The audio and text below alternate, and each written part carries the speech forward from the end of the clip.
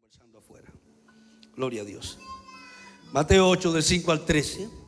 Entrando Jesús en Capernaum, vino a él un centurión rogándole y diciendo: Señor, mi criado está postrado en casa, paralítico, gravemente atormentado. Y Jesús le dijo: Yo iré y le sanaré.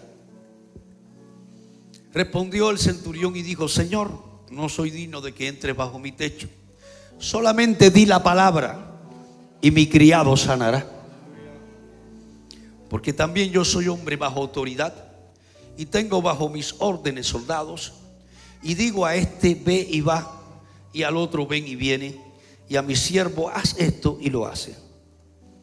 Al oír Jesús, se maravilló y dijo a los que le seguían, de cierto os digo que ni aún en Israel he hallado tanta fe.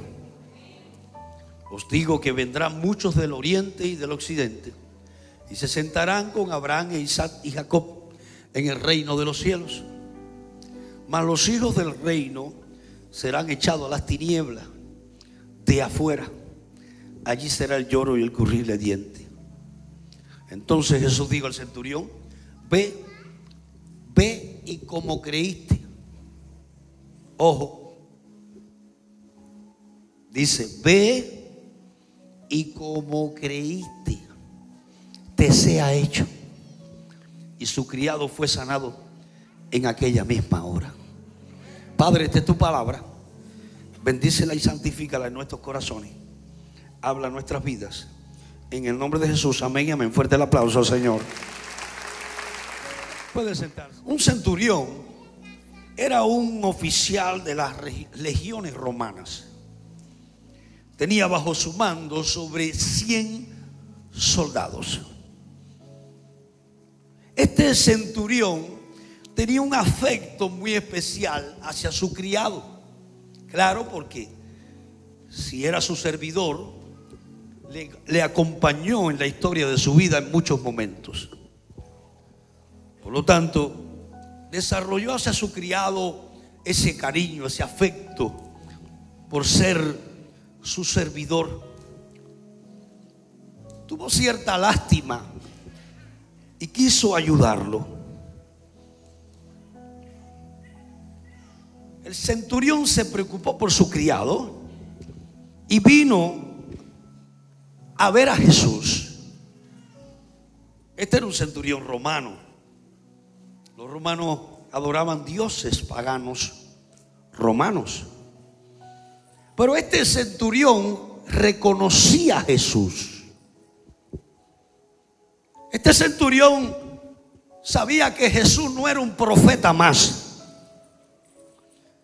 Que Jesús tenía el poder para sanar a los enfermos.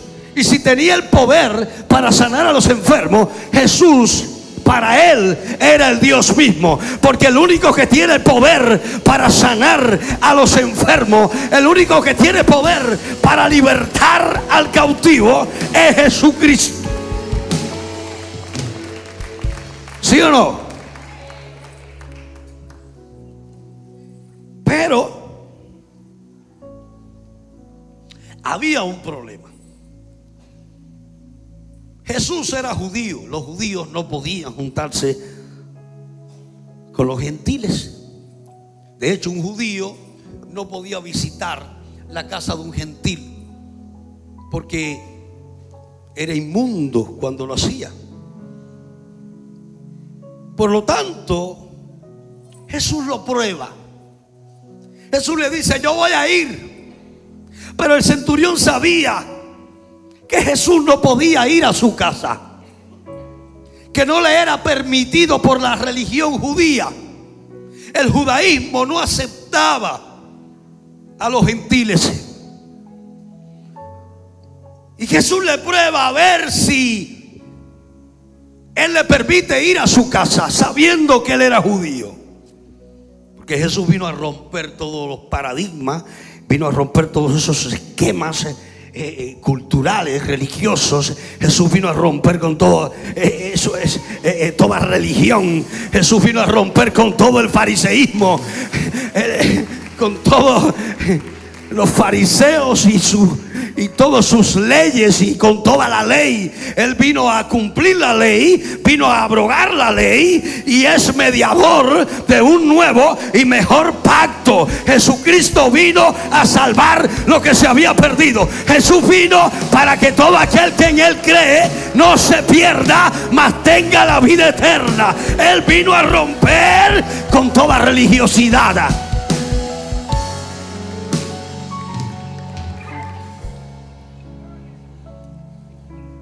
Pero este hombre sabía que no podía ir. Entonces Jesús pone a prueba la fe del centurión y dice, a ver, ¿cómo vas a responder a esto? Si yo no puedo ir allá, si tú no me puedes recibir en tu casa, ¿cuál va a ser la respuesta de tu fe? Porque Jesús pondrá a prueba nuestra fe en algún momento de nuestra vida como cristiano. No importa que estés en un altar, que seas músico. No importa que, que tú alabes, que tú adores. No importa el estatus eclesial que tú tengas, que seas un obispo, que seas un pastor, que seas un profeta, que Dios te use de manera extraordinaria en milagros y con su poder sobrenatural. La fe de todos los hijos de Dios, la fe de todos los cristianos, no importa el estatus en el que esté, en algún momento será probada. Tu fe será probada, tu fe será abatida. Jesús probará tu fe. Jesús vendrá a saber cuál es el quilate de tu fe.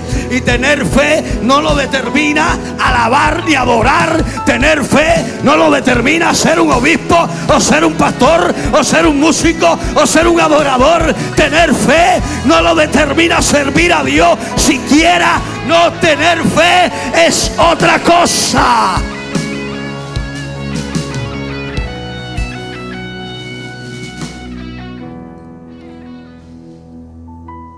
Eso no determina tu fe. Lo que hacemos para Dios no determina nuestra fe. La fe es la que hace que hagamos para Dios cosas. La fe es la que determina lo que tú haces. Por eso Dios no te bendice por tus necesidades. Dios conoce tu necesidad. Él sabe lo que tú necesitas en tu vida, en tu llamado, en tu ministerio, en todo lo que haces para Él. Él sabe lo que tú necesitas. Simplemente Él quiere ver fe en ti. Dios no te bendice por necesidad. Él te bendice por fe. Porque sin fe es imposible acercarse a Dios, agradarle a Él. ¿Alguien me entiende, iglesia?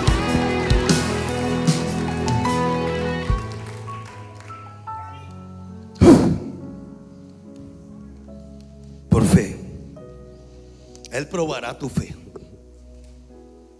Él vendrá a conocer el quilate de tu fe. Si le decimos que le amamos, Él vendrá a decirte, demuéstrame cuánto me amas. Señor, quiero servirte, demuéstrame cuánto quieres servirme. Señor, yo quiero caminar contigo. Demuéstrame cuánto quieres caminar conmigo.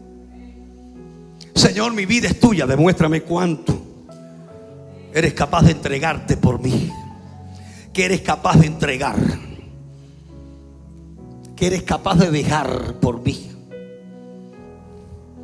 Dime, ¿hasta dónde quieres llegar conmigo? Dios vendrá a probar eso en tu vida.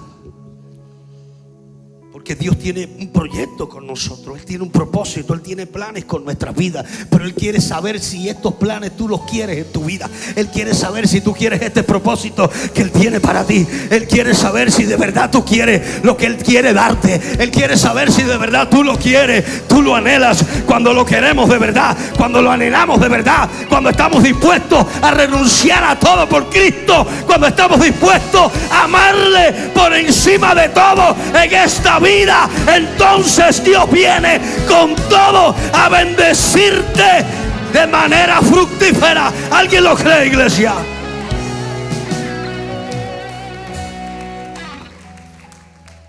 ¿Qué estás dispuesto a dejar?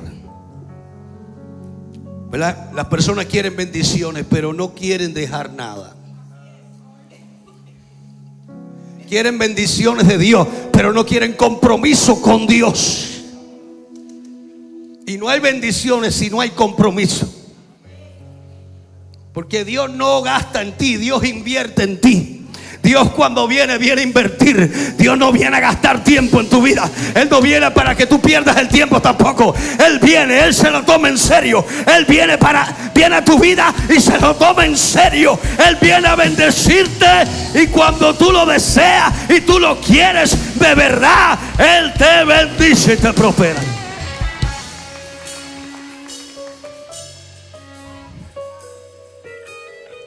Pero ¿qué estás dispuesto a dejar?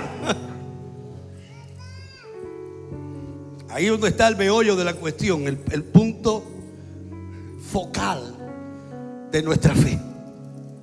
¿Qué estamos dispuestos a dejar? Porque todo el mundo quiere recibir, todo el mundo quiere el favor, el bienestar de Dios, la bendición de Dios, quieren la prosperidad de Dios, pero no quieren dejar nada, no quieren compromiso no quieren comprometerse con Dios. Bueno, yo visito la iglesia obispo, pero lo mío es desde afuera. Desde afuera tú no vas a llegar a ninguna parte. Porque Jesús dijo que el que no es conmigo contra mí. Y el que no recoge conmigo desparrama. Jesús te dice, si yo soy tuyo, soy tuyo verdaderamente. Dios no hace tratos con nadie a media. Dios no es neutral. Dios viene y te dice, si tú te entregas a mí y abres tu corazón, de verdad, yo entraré en tu vida, cenaré contigo y tú cenarás conmigo y verás mi gloria manifestarse de manera poderosa.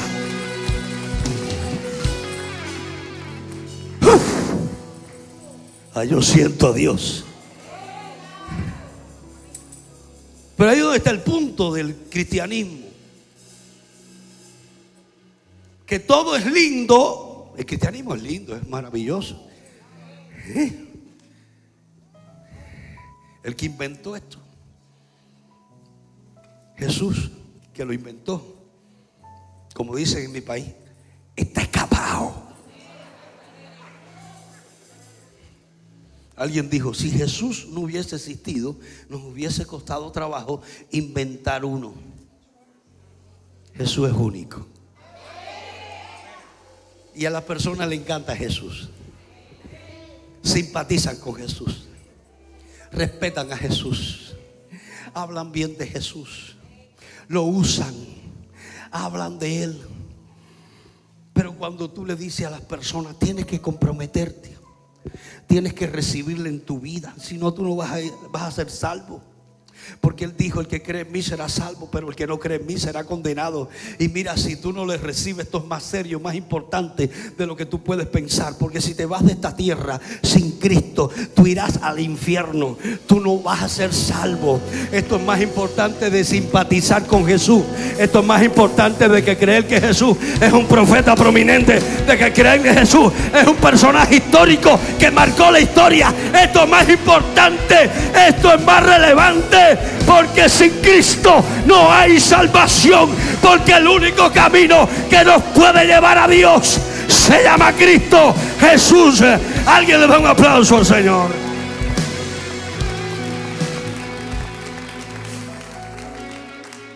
La fe se complica cuando hay que comprometerse. Cuando Jesús te dice, tienes que dejar cosas para ganar cosas. Cuando Jesús te dice tienes que dejar hábitos, costumbres, viejos hábitos, viejas mañas que ya no te sirven aquí. Ya no puedes estar inventando ni andando, eh, eh, no puedes andar en la mentira, ahora tienes que hablar la verdad y ahora tienes que actuar bien y correctamente y, ahora esto es diferente a lo que tú hacías ahora esto esto ah, tienes que amar a tus enemigos tienes que amar a los que te aborrecen tienes que perdonar hasta la suegra la tienes que perdonar perdona a tu suegra porque si tú no perdonas a tu suegra tú no vas a entrar al cielo Dios bendiga a la suegra. Agradezco a Dios que la mía hace muchos años vive lejos. Allá en Cuba. No, las suegras son buenas. Nos ayudan mucho. Dios las bendiga mucho. Y los suegros igual, yo soy suegro. Somos tremendos, nosotros somos tremendos. Tenemos que cargar con el yerno, cargar con los nietos, con... Dios mío. Y si lo que tienes son hijas hembra, le entregas todo a yerno, le tienes que pagar la boda, entregarle la hija, tienes que después criarle los nietos y él tú lo ves así, mira, riéndose.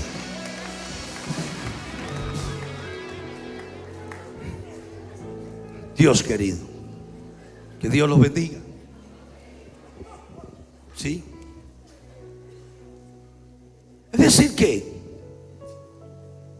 las personas creen que cuando se convierten al cristianismo se le van a acabar los problemas. Mira, tus problemas se te van a acabar en el cielo. ¿Cuántos van para el cielo aquí?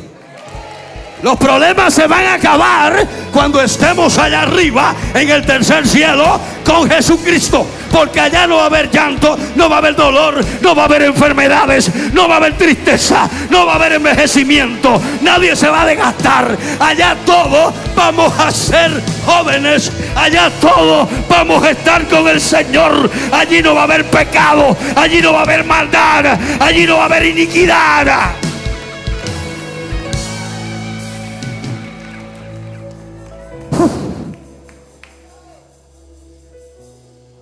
Cuando te convierte, no quiere decir que se te acabaron los problemas. ¿Quién dijo eso? No, no. Lo lindo del cristianismo es que en tus problemas, en medio de tus problemas, en tus problemas, Dios está ahí contigo. Vamos, hay gente que. Deja ver si los que están acá me entienden. Que en medio de tus problemas, Dios estará ahí contigo. Él estará ahí contigo. Él será tu vara. Él será tu callado. Él infundirá aliento. Él te levantará. Él estará contigo. Él abrirá puertas que nadie puede cerrar. Él, Él te dará salida al problema. Porque si te mete en el problema, también te da la salida. Alguien puede aplaudir, iglesia.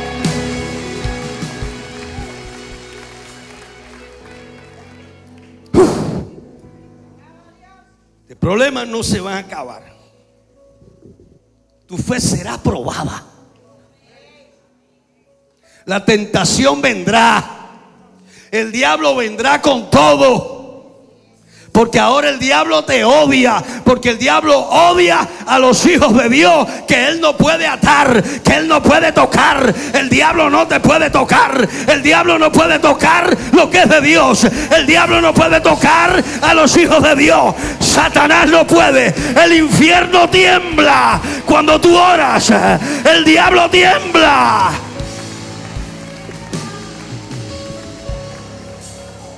Y por eso tú le caes mal.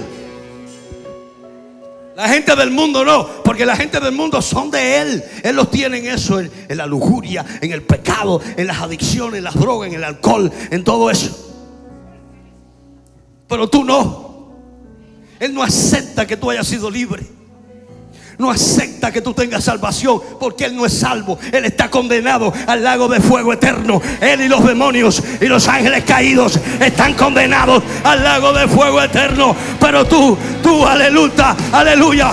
Tú fuiste llamado Aleluya, tú fuiste llamado a la salvación, a la vida eterna. Él te envidia, tú le caes mal y te envidia porque tú eres salvo, porque tienes vida eterna y Él está condenado.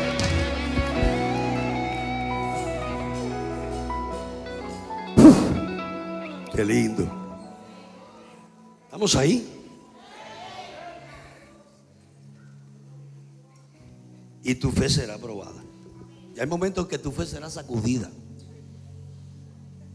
Pero la, grandeza del cristianismo es que en medio de aflicción, porque a veces te vas a afligir, en medio de eso, mmm, ahí puedo sentir la paz de Dios la paz de Dios que sobrepasa todo entendimiento humano.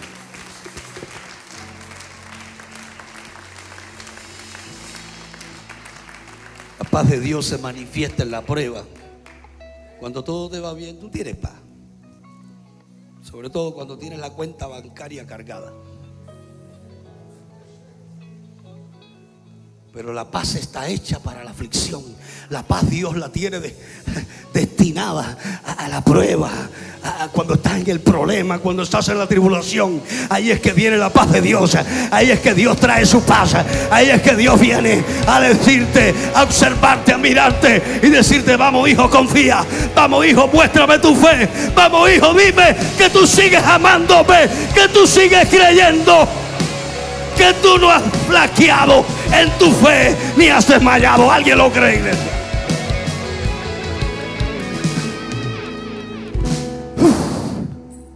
qué lindo. Entonces tu fe será probada. La mía también. Cada cierto tiempo, fíjate. Cuando Dios quiere aumentar tu fe y que tú crezcas, porque a veces caemos en el estancamiento.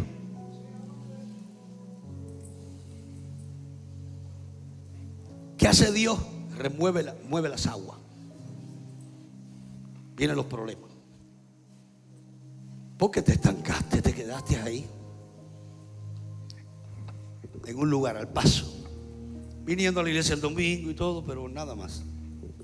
¿Y qué hace Dios? Tú vas a ver se detuvo, lo voy a mover, lo voy a mover, lo voy a mover. Viene, viene, el problema, viene el problema. Y el problema comienza a moverte y dice, tengo que orar, tengo que orar porque este problema, este problema, esto está, esto es difícil. Tengo que ayunar, tengo que ayunar. ¿Qué hace Dios? Número uno, te trajo la oración. Número dos, te trajo al ayuno. Número tres, te empiezas a congregar más. Te trae los viernes a la vigilia. Vienes aquí eh, a la vigilia y dice, obispo, aquí estoy. Pero tú no vienes a la vigilia. Sí, pero ahora vengo a la vigilia pero no es habitual verte aquí, sí, pero ahora acostúmbrese porque aquí voy a estar todos los viernes la vigilia.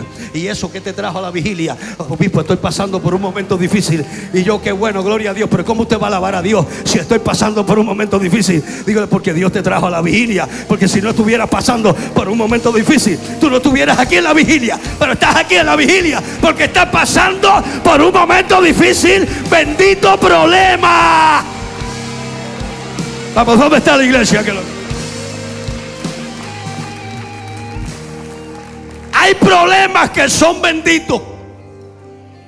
Los problemas que Dios te permite por los que tú pases son benditos. Los que tú te buscas, ten cuidado, eso es otra cosa. Porque eso nos buscamos problemas nosotros también. Pero los problemas de Dios para tu vida son buenos. ¿Estamos acá? Entonces tu fe será probada. Tu fe será sacudida. Ahora quiero que entiendas algo. ¿En qué ámbito se mueve la fe? ¿Mm? ¿En qué ámbito se mueve la fe? Mira, la fe es natural al principio. ¿Por qué? Porque usted, la fe es racional, aunque la fe eh, es un misterio ese. La fe y la razón no son compatibles. La fe no es algo que usted puede explicar. Como un objeto material, una silla compuesta por cuatro elementos, un espaldar donde usted se sienta, eso es silla. La fe no es material, la fe es espiritual, es una sustancia espiritual. ¿Estamos acá? Entonces la fe comienza natural con tus cinco sentidos, con tu intelecto, tus emociones. Cuando, obispo, comienza natural? Cuando yo me acerco a Dios. Cuando yo sé que Jesús es el que puede sanarme, puede solucionar mi problema. Cuando se convierte en sobrenatural? ¿Cuándo? La fe se convierte en sobrenatural cuando yo aplico las promesas de Dios de esta palabra que está aquí, que es viva y eficaz, cuando yo aplico esto a cierta situación o problema, entonces la palabra actúa de manera sobrenatural. en la fe tuya.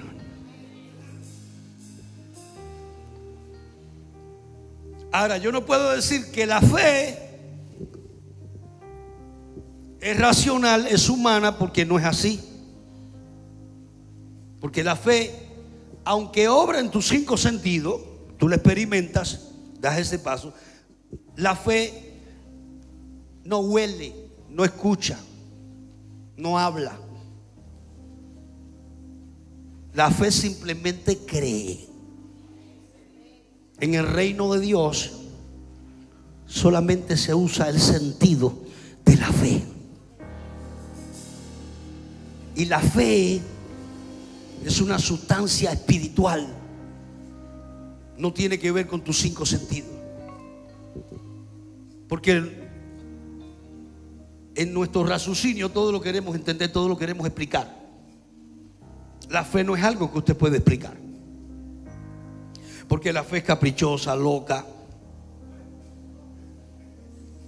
ciega. No se entiende. No, si, si, si, si tú tienes que entenderlo todo, no es fe. Para que sea fe, usted cree aunque no entienda nada. Vamos, alguien me está entendiendo. ¿eh? Usted no entiende nada, pero usted cree, usted confía. No porque lo digo Dios, lo dice alguien basado en la filosofía o en conceptos humanistas. Lo dice la palabra de Dios, lo dicen las promesas de Dios. Y las promesas de Dios se cumplen. Las promesas de Dios son eternas. Vamos, alguien puede aplaudirle. Las promesas de Dios son eternas.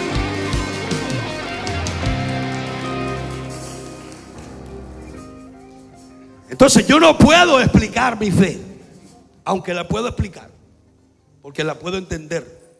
Yo puedo explicar la evidencia, el efecto, lo que he experimentado. Mira, mira, mira, la humareda. ¿Por qué, obispo? Porque la fe, porque a veces hablamos de creer, cree, cree, cree la fe, pero la gente no entiende nada. La gente no entiende. Si yo no puedo aplicar mis cinco sentidos a la fe porque no funciona, yo tengo que pensar como la fe piensa. Tengo que pensar como Dios piensa. Para yo obtener un milagro, una sanidad, una petición en Dios, yo tengo que pensar como Dios piensa. Yo tengo que hablar el lenguaje de la fe. Porque el único lenguaje que Dios entiende es el de la fe. El único lenguaje que Dios entiende es el de la fe. El único lenguaje que Dios entiende es el de este libro. Es el de la Santa Biblia. La Santa Biblia. El único lenguaje que el diablo entiende. Los demonios entienden.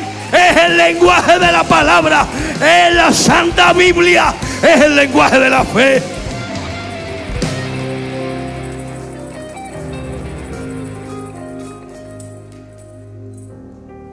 La fe no piensa, no entiende. La fe solo se aferra a Dios. No entiendo nada. Pero yo creo todo lo que Dios dice. Yo no entiendo nada, pero yo confío en lo que Dios ha dicho. Yo no entiendo nada, pero yo sé que las promesas de Dios son eternas y se cumplen. Yo no entiendo nada, pero el Dios que me llamó, Él tiene un plan, Él tiene un propósito y Dios, Dios lo hará. Yo esperaré en Él, esperaré a Él, esperaré a... Ay, Dios mío, alguien me entiende.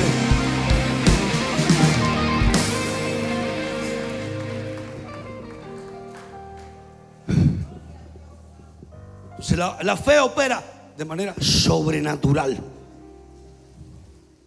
Cuando yo creo. Porque Dios es sobrenatural. Se manifiesta de manera sobrenatural.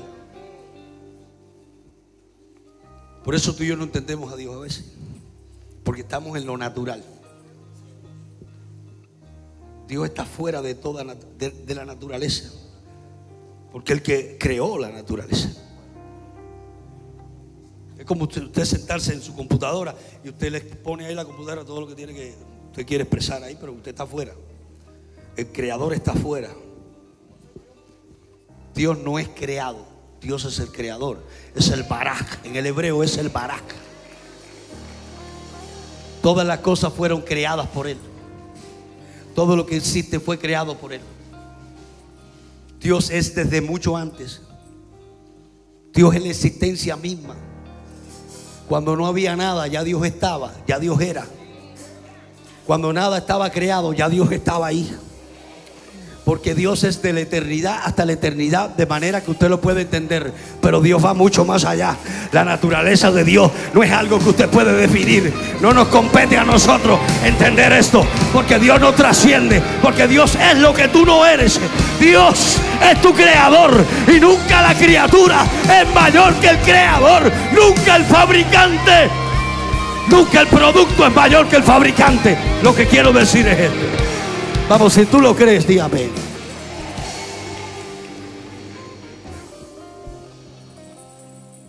¿Estamos acá? Y Dios concibió la fe.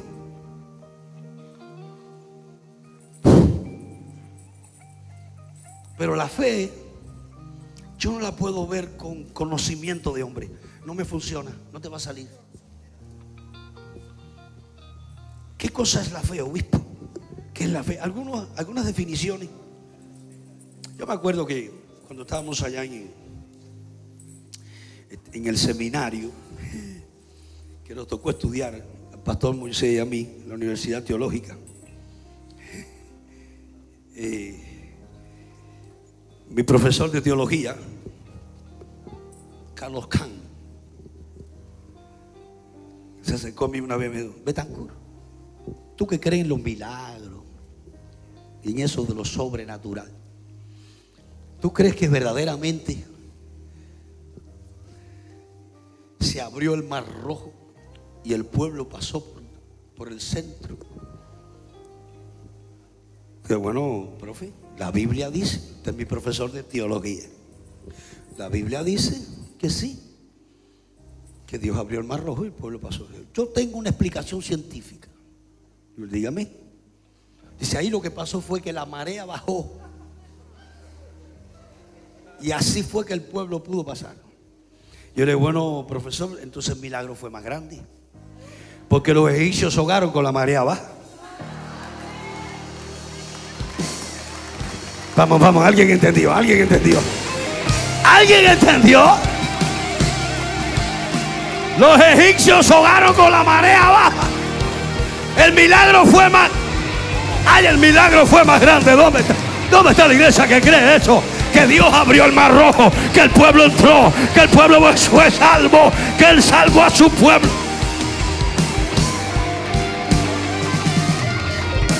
Uf. Él me dijo, buah, buah. ¿Está bien, Betancourt? ¿Está bien? Y le dije, profe, y creo más. La Biblia dice que un pez grande se tragó a Jonás, pero si dice que Jonás se tragó el pez, yo lo creo también. Eso sí, tú estás quemado. Era pastor, tenía una iglesita de 20 personas, mucha teología, era, ¿verdad que era un profesor? Usted se sentaba a escucharlo y no quería que terminara. Era, letra nada más. Y la letra sigue espíritus muertas. Es decir que le cuesta trabajo a nuestra mente, aún a los teólogos, a los prominentes del exégesis, creer y tener fe. Es imposible eso. ¿Mm? Que un cocinero no sepa cocinar y un cirujano no sepa operar. ¿Eh? Pero ¿qué es creer? Voy ya terminando. Es considerar una cosa como verdadera segura. Pensar que existe. Considerar una cosa como posible, probable, sin llegar a tener una certeza absoluta de ello. Es esa confianza absoluta de que así es. Y eso no necesita ser probado para creerlo, porque descansa y se fundamenta en la palabra que Dios ha dicho. Note algo en la historia.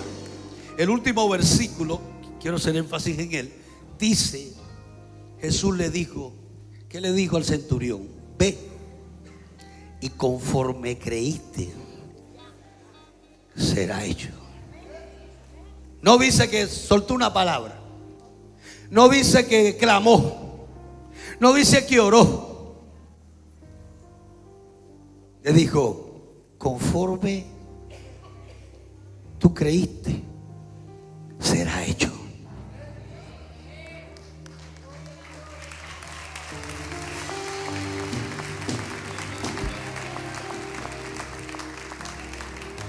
¿Cuál es el punto aquí? Que podemos ser tremendos intercesores, ayunar, orar, hacer vigilia. Eh, eso es bueno, eso es importante, eso hay que hacerlo. Pero si no hay fe, nada de eso es efectivo lo que sella tu oración, lo que sella tu intercesión, lo que sella tu clamor, lo que sella es que tú lo creas, es que tú creas por lo que oraste, es que tú creas tu petición, es que tú creas, es que tú creas, es que tú creas, es que tu vida está hecho. Cuando te levantas de ahí, tu vida está hecho, está hecho, Dios lo ha hecho. ¿Alguien lo cree, iglesia?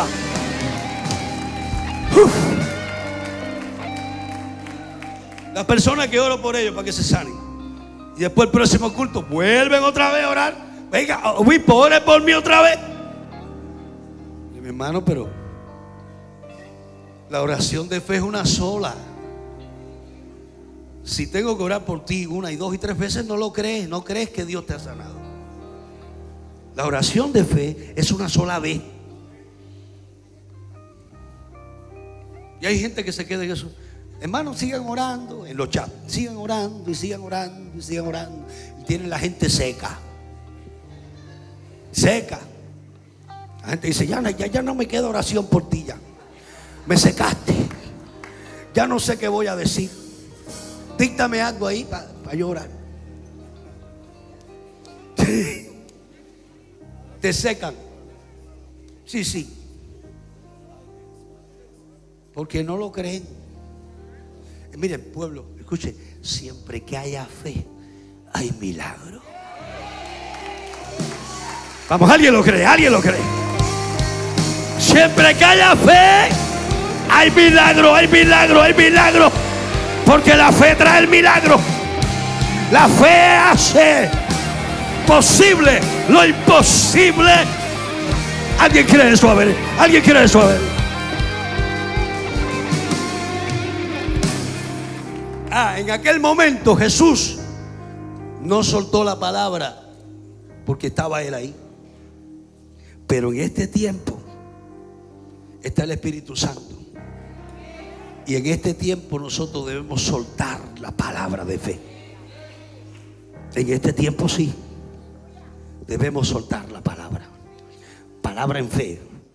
Declararlo. Hacer decretos de fe. Bueno, los decretos, obispo. Deja a la gente que diga lo que quiera. Sí, decretos de fe.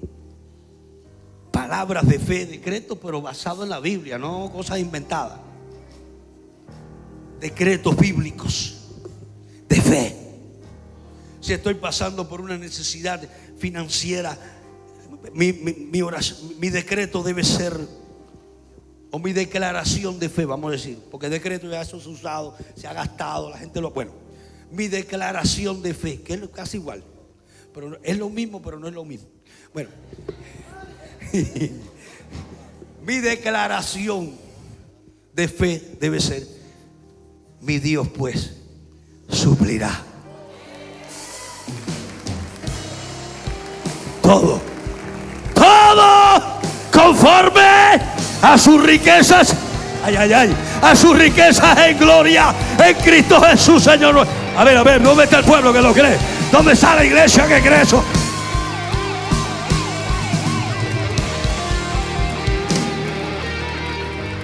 Y si estoy pasando por la enfermedad y me dan un diagnóstico Yo debo decir, la realidad es esta, que tengo una enfermedad, que me diagnosticaron un cáncer. Esa es la realidad, porque no puedo obviar la realidad. La fe tampoco es superstición, ¿o yo? Ni autosugestión. La fe no es sugestión, no es eh, superstición, no es, no es confesión positiva. No, no, eso no es fe. No. La fe no obvia la realidad. La fe cambia la realidad. La fe cambia la realidad, pero no la obvia. Si estoy pasando por tengo el cáncer, esa es la realidad que me diagnosticaron cáncer. Pero esa no es mi verdad. Mi verdad es que por su llaga. La verdad es ni siquiera la mía. La verdad de él es que por su llaga, por su llaga fuiste sanado. ¿Alguien lo cree? Por su llaga fui sanado. Por las llagas de Cristo fui sanado.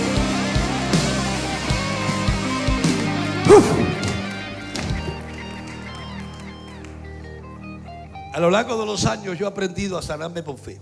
Hago ejercicio, dieta, me cuido y eso. Pero yo, a mí me duele la cabeza y oro. Se va. Ayer me di cuenta que se, me fue una acidez de comer tanto. De comer todas las comidas esas que hay que comer. Hoy tenía un ardor aquí, una cosa, Dios mío. Me subí un ácido para arriba y suéltalo. Y me puse la mano y Padre, me ate.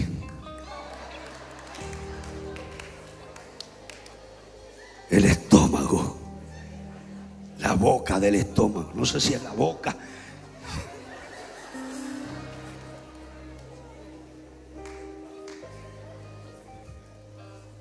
Te pido ahora, Señor, que me quites esto. Hoy me acordé, ayer me acordé y no, no me he vuelto a dar así de. El Señor me dijo, pero tú no tuviste fe el otro día para creer. Vamos, ¿dónde está la iglesia? La fe es en todo tiempo de tu vida. La fe es en todo momento de tu vida. Dios te manda a vivir por fe. A vivir por fe, no por vista. Tú estás llamado a vivir por fe, no a vivir por vista. Porque la fe hace vista.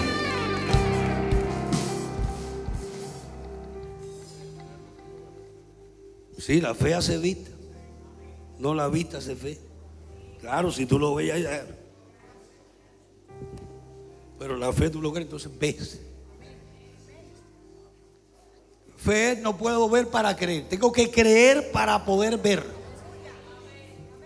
La fe no actúa en el plano de las posibilidades. Todo es posible. Si puedo. Si puede. ¿Entiende lo que es la fe? Yo tampoco entiendo nada. Me acuerdo que mi esposa Moraima estaba con un dolor en el costado. Allá en, estamos en Camagüey. Yo, yo quería dormir. y ella, el dolor y el dolor. Y venga, y yo la abrazaba y ven y dale, pero tenía un sueño. Hasta que me cansé. Con el dolor. Le puse la mano y dije, dolor, sale ahora, déjame dormir.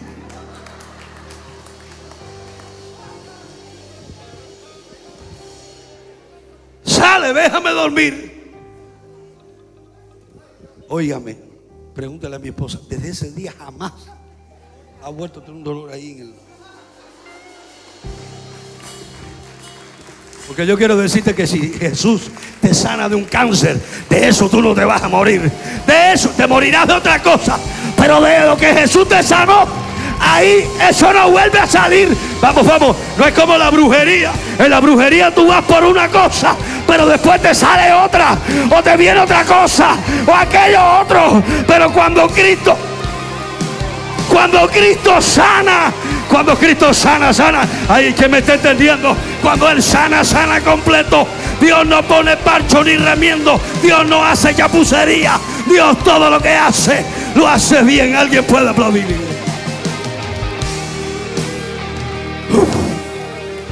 Tenía que desahogarme hoy. Llevo dos domingos ahí que. Mira, hasta el tiempo se me fue. Qué lindo.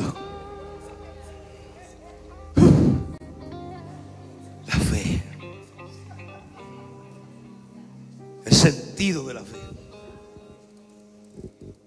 La fe. Yo empecé a abrir unos huecos en el tabernáculo sin tener cemento, ni materiales, ni cabilla, ni en Cuba. No, en Cuba se que vivir por fe. Le aseguro que ahí usted la fe la tiene. Un grano de mostaza no. El árbol más grande, más grande que el árbol del mostaza. Si aquí la gente vive deprimida, tiene tantas cosas que se deprimen por todo. Yo en Cuba, yo eso de depresión, vengo a escucharlo aquí realmente. Yo no sé que si allá uno no podía deprimirse porque tenía que ver qué iba a comer, qué iba. Bueno, y ahora, hoy, ¿qué como hoy? Deja ver cómo me las arreglo. ¿Cómo consigo el pan de cada día? Y yo empecé a abrir unos huecos por fe. Y los líderes me decían, ¿y qué le vamos a echar a los huecos?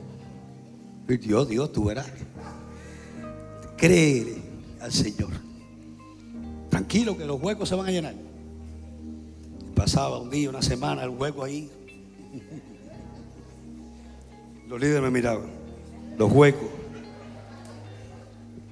¿Y ya lo creíste? Sí. Y vino un alemán. Oiga eso, donde Dios, como trajo al africano aquí a enseñarnos a ofrendar, vino un alemán.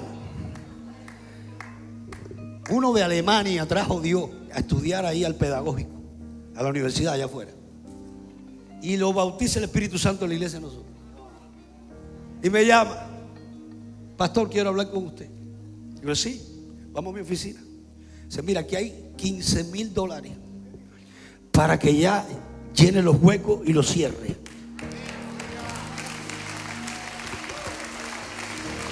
Vamos, ¿dónde está la iglesia?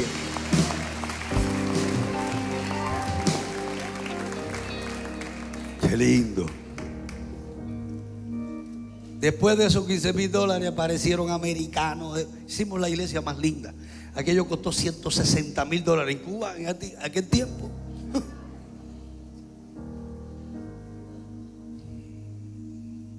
Porque para Dios no hay nada imposible. Los únicos que le ponemos límite a Dios somos nosotros. Nuestra poca fe. Y es triste a veces que cristianos que decimos proclamar fe, no tenemos fe. Decimos que, hablar de Dios, hablamos de Dios, hablamos de la palabra, hablamos de que Él sana y somos los primeros en correr y tomarnos un aspir. Y una aspirina. Como la hermana que me contó el testimonio, obispo tenía un dolor de cabeza muy fuerte y entonces me, tomé un api y me sanó el Señor.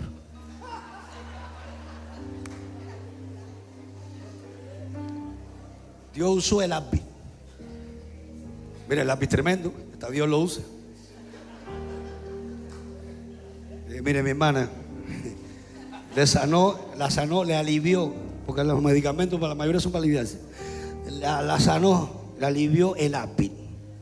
Dios no necesita un ápice, ni una aspirina, ni nada para sanarte y hacer un milagro en tu vida. Dios lo único que necesita es fe. Fe.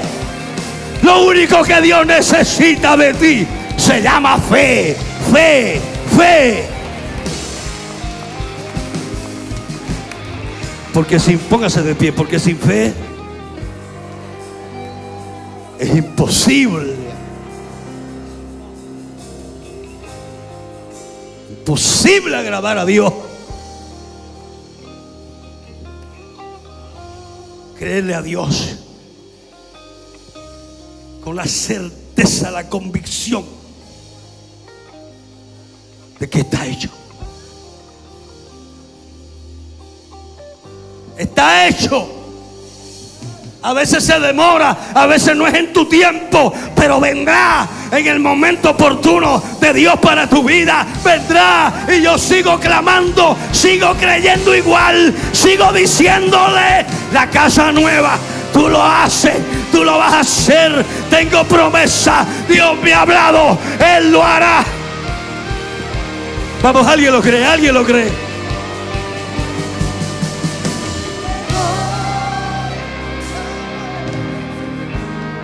Fe es lo único que necesita el Señor. Pero acuérdate que Dios no obra con cinco sentidos.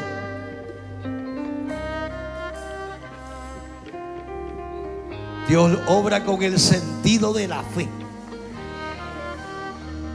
La convicción de que somos libres. De que Él me sana. De que Él me suple. De que Él me provee de que Él abrirá puertas, de que Él abre las ventanas de los cielos, que mi Dios suplirá, que tengo un Dios que todo lo puede. ¿Alguien cree que tiene un Dios que todo lo puede? Aleluya. Mentira del diablo. Si tú crees que Dios te va a abandonar, si Él te dio un llamado, un ministerio, ¿tú crees que Dios te va a dejar solo? ¿Tú crees que Dios te va a desamparar? ¿Tú crees que Dios no va a estar ahí para asistirte? Si Dios te puso, nadie te quita. Si Dios te puso, nadie te quita. Si Dios te envía. Aleluya, si Dios te envía, vas a ver la victoria, vas a ver lo que Dios va a hacer contigo.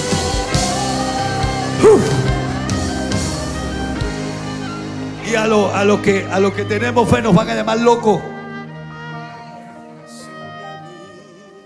Loco. Ese está loco. Qué lindo. El cielo va a estar lleno de locos. Y el infierno de incrédulos, gente que cree que sabe más que Dios. Qué lindo. Te van a decir loco. Este es un loco. Habla cosas incoherentes. Por eso la fe, la fe es incoherencia. Mira, mira, ven, analiza para que tú veas. Qué lindo. Pero es lo que más sentido tiene. Porque es lo que trae el milagro. Tal vez no te ha sanado todavía. Esto a la gente no le gusta que se lo diga. Todo el mundo te dice, yo tengo fe. Obispo, yo tengo. ¿Y por qué no te sana?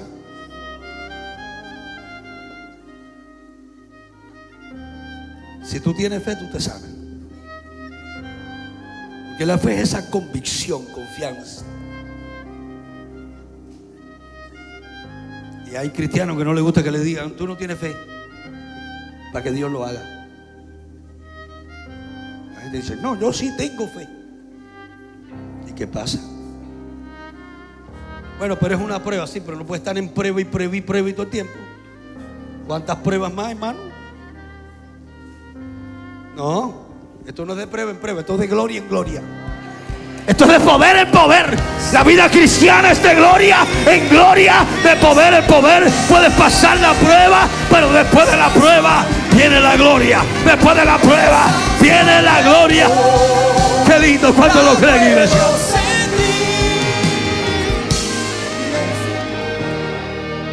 Qué lindo.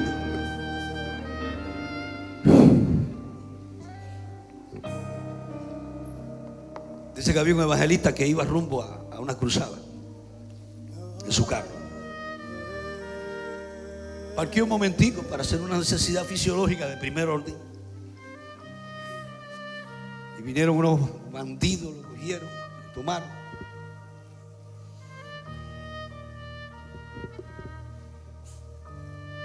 De pronto sintieron como que un ruido, salieron corriendo los bandidos, lo soltaron le, llevaron toda la gasolina del carro. Y dice que dijo, Señor, ¿cómo llegó la cruzada sin gasolina? Había un manantial ahí cerca. El Señor le dijo, ve y llena el tanque. Busca un tanquecito, llénalo de agua, llénale el tanque de agua.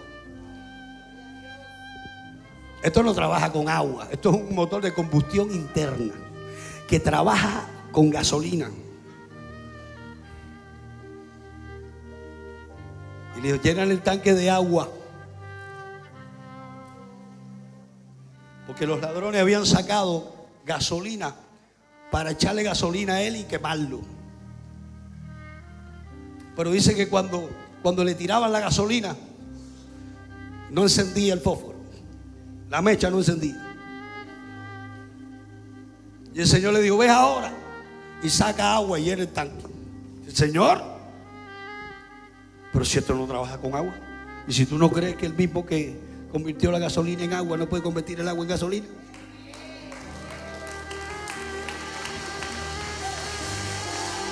¿Puede o no puede hacerlo? A ver. El mismo que convirtió la gasolina en agua, no puede convertir el agua en gasolina.